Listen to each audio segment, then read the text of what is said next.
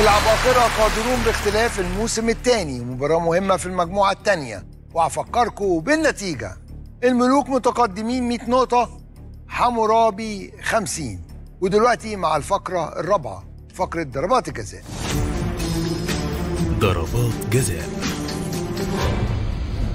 25 نقطة لفريق واحد بس حمورابي 50 و25 75 ترجعوا تاني في المباراة. الملوك 125 125 هترتاحوا جدا قبل الفقرة الأخيرة فقرة عجلة الحظ. محمد الكليني السؤال الأول. رياضة. محمد علي كلاي هو بطل عالمي بإحدى الرياضات فما هي؟ ملاكمة. الملاكمة. الهدف الأول. من أساطير لعبة الملاكمة. برافو عليك يا محمد. هدف بلا مقابل سلمى. السؤال الثاني. رياضة. محمد كرم هو أول بطل مصري من قادرون باختلاف بإحدى الرياضات. فما هي؟ هي بصراحة غطس. غطس؟ آه. برافو عليكي. فعلا هو بطل مصري في رياضة الغطس الهدف الأول. برافو عليك يا سلمى هدف مقابل هدف. كلنا نحيي سلمى ومحمد الكليني محمد الكليني وسلمى الحسيني. برافو عليك. إيمان. إيمان السؤال اللي جاي ليكي. اتفضل. محتاجة تحرزي هدف. إن شاء الله. السؤال الثالث فنون. من هو الفنان الذي قام بدور أدهم في مسلسل الأدهم؟ آه. آه. دوسي على البازر لو عندك آه، إجابة. ياسر جلال؟ ياسر جلال؟ ما كانش في المسلسل. أسهل مما ممكن تتخيل. أحمد عز أكيد. طبعا. إجابة خاطئة. مين بقى؟ أحمد عز. أحمد عز. طار منك الهدف يا إيمان. أرضك. سهيلة السؤال اللي جاي ليكي.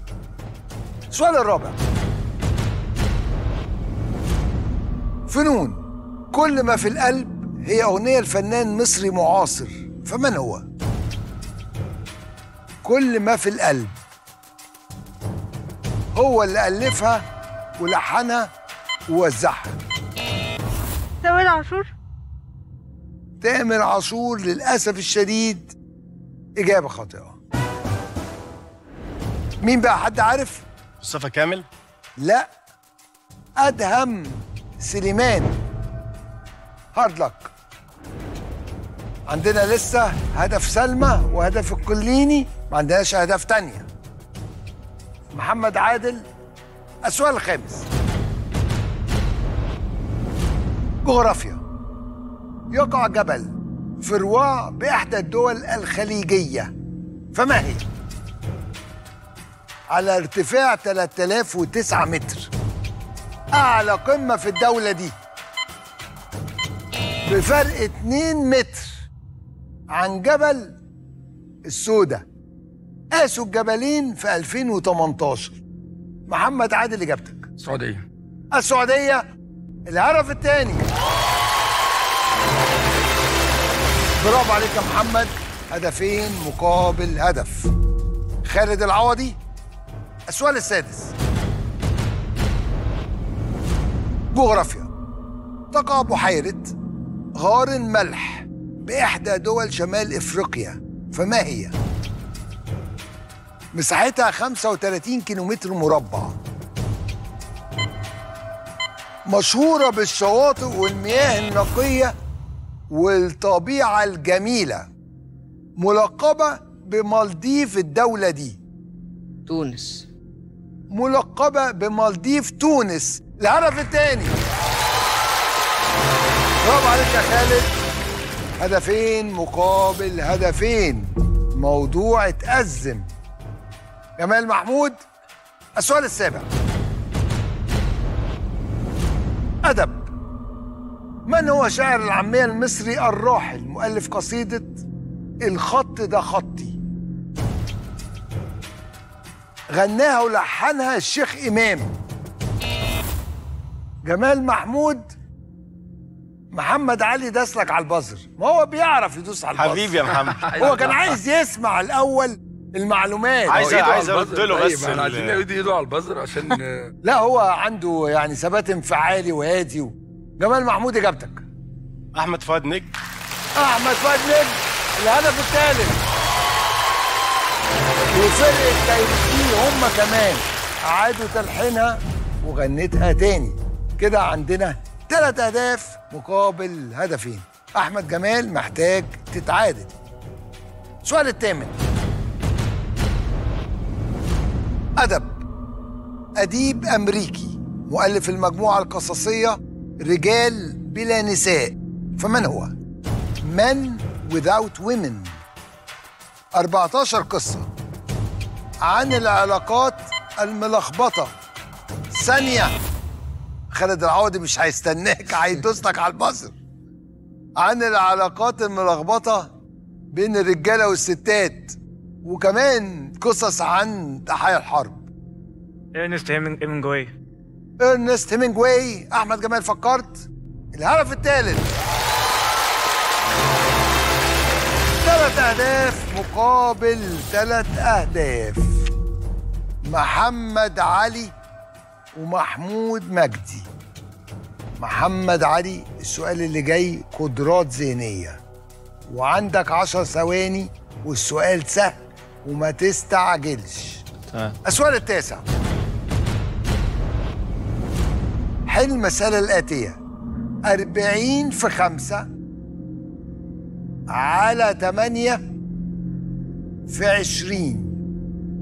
يساوي كام؟ دوست على البازر ليه؟ عندك عشر ثواني.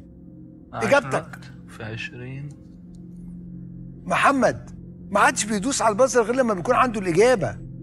240 240 إجابة خاطئة. نفسي أعرف أنت مستعجل ليه؟ ما عندك 10 ثواني. لما ما باخدش وقت بالي من الوقت بيجري. دول بدأت 10 كده. ثواني أنت ما خدتش ولا ثانية. خسارة جدا. الإجابة 500 محمود مجدي لو إجابتك صح 25 نقطة. الملوك 125 لو إجابتك غلط هنلعب على الهدف الذهبي. السؤال العاشر. حل المسألة الآتية. خمسة في أربعة. في مية وعشرة زائد عشرين. يساوي كام؟ خمسة في أربعة. في مية وعشرة زائد عشرين. يساوي كام؟ ثانية. محمود مجدي إجابتك. 240 240 إجابة خاطئة. 1930 لا. برضو.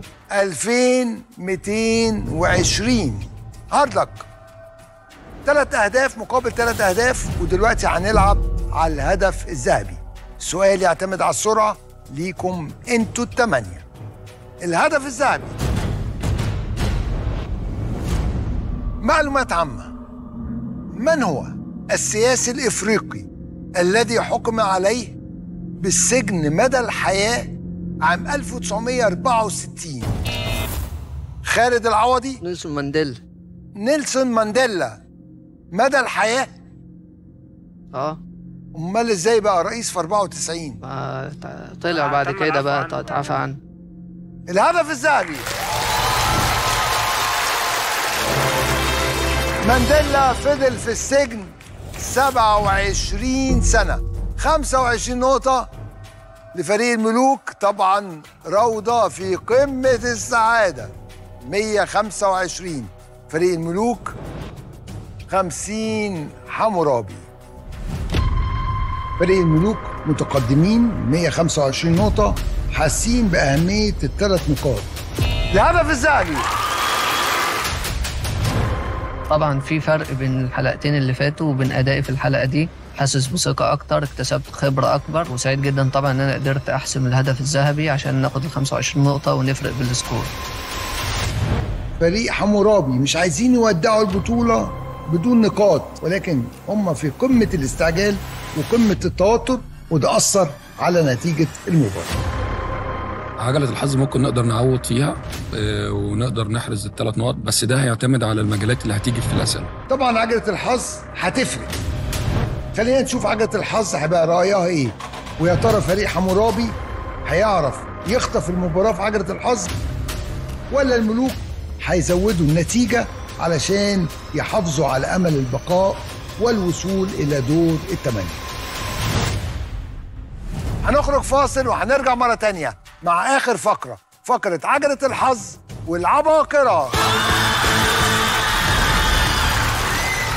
وبكده أصحابنا العباقرة قادرون باختلاف جمعوا 25 نقطة في فقرة ضربات الجزاء وكل نقطة ب 2000 جنيه بما يساوي 50 ألف جنيه ويبقى الرصيد لحد دلوقتي 350 ألف جنيه. في خزنة البنك الأهلي لدعم ملف قادرون باختلاف اجتماعيا وعلميا وثقافيا ومهنيا في جميع محافظات مصر.